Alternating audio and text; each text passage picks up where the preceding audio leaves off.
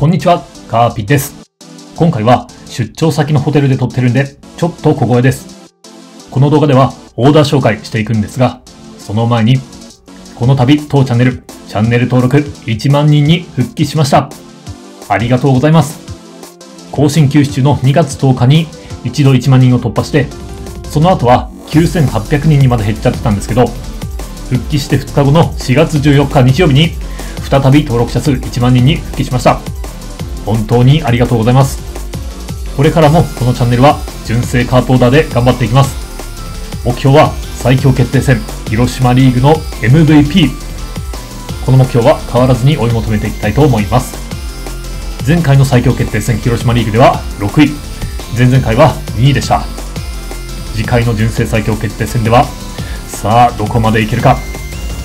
ユーザーも増えて競争激化してきてますからね。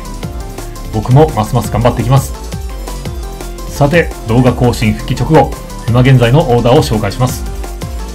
野手陣がご覧のメンツ。2018シリーズ1の選手も入れて、コンボ重視にしてます。投手陣はこんな感じ。今、アドア選手、フランサー選手を育成中なんで、チームスピリッツはもっと上がる予定です。データで見ると、チームスピリッツが7万180、コンボが1万782、チームスピは、アドはフランサーが育ちきったら7万550ですね。コンボを見ていきましょう。野手陣は念願だったミート型コンボの超シュート精密。パワー型コンボの超大胆不敵。ミート A コンボの超安打製造機。パワー A コンボの超重量打線。この4つの超コンボの同時出しを達成できてます。これを実現するために称号チャレンジはかなり苦労しました。鈴木誠也をミートパワー同値にして衣笠さんをミートパワー A 同値にしてノムケンをミートパワー A にして菊池選手をミート型にして相澤選手をミート A にして新井さんをミートパワー A にして尾形さんをミートパワー A 同値にしてます。ミートパワー同値の選手は4人。ミートパワー A の選手は6人。これだけやって、ミート型、パワー型、ミート A、パワー A、4つの超コンボを同時出しができるんですね。ここまでやるのはかなりしんどかったです。しんどかったですけど、眺めてると嬉しくなりますね。ニヤニヤしながら眺めてます。打線はこんな感じです。チャンスメーカー持っているノムケンを1番に置いて、ジグザグ打線は組んでません。2番にはスピリッツの高い菊池選手。3番には一番打力の高い丸選手。4番はこの人しかいないでしょう。鈴木選手。5番に総力が B に上がった前田選手。6番に2パー A 同値の衣笠選手。7番にチャンス丸。スピ3000の相澤選手を置いて走者を掃除。8番9番にスピリッツの取る2018シリーズ1の2人を置いて。尾形さんは総力もあるんで上位へのつながりを期待。ミートパワー C 以下の選手は0総力は9人中6人が B 以上かなり強力なオーダーになってるんじゃないかなと思います。続いて投手陣見ていきましょう。カープの投手陣は打撃陣に比べてあんまりコンボを組む余地がないですね。今出しているコンボは9位型コンボの超力戦奮闘。9A は8人揃わず4人だけです。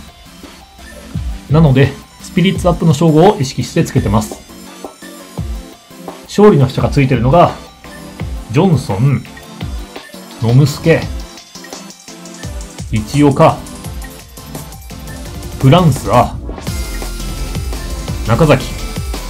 この5選手でスピリッツを150底上げしてます。大瀬良選手には魂の時をつけて9位請求 A 同値にしてます。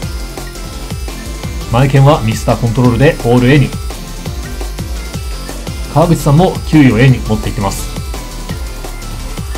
横山さんに魂の統計がついてるのも気に入ってますね。9位請求 BB になって見栄えも良くなったかなと思います。岡田選手は9位型にしてますね。はい今現在のオーダーはこんな感じですね。第15回最強決定戦もほぼこのオーダーで臨みました。変わってるのはコウスケのところだけですね。このオーダーで臨んで6位だったんですよ。これは正直悔しかったです。僕としては最高の仕上がりだと思ってました。MVP いけると思ってたんですけどね。最強決定戦は数字だけじゃないっていうことですね。もっと勉強して次の純正最強決定戦こそはと思ってます。ちなみに2019シリーズ1の選手獲得状況は7人中3人獲得。まだまだ全然焦る時期じゃないんでじっくり強化していきたいと思います。はい、今回は復帰記念のオーダー紹介でした。オーダーここをもっとこうすればいいんじゃないとか、ご意見ありましたら、ぜひ教えてください。チャンネル登録者も1万人を超えて、2万人、3万人と頑張っていきたいと思ってます。グッドボタン、チャンネル登録、ぜひお願いします。ではまた次回の動画で会いましょう。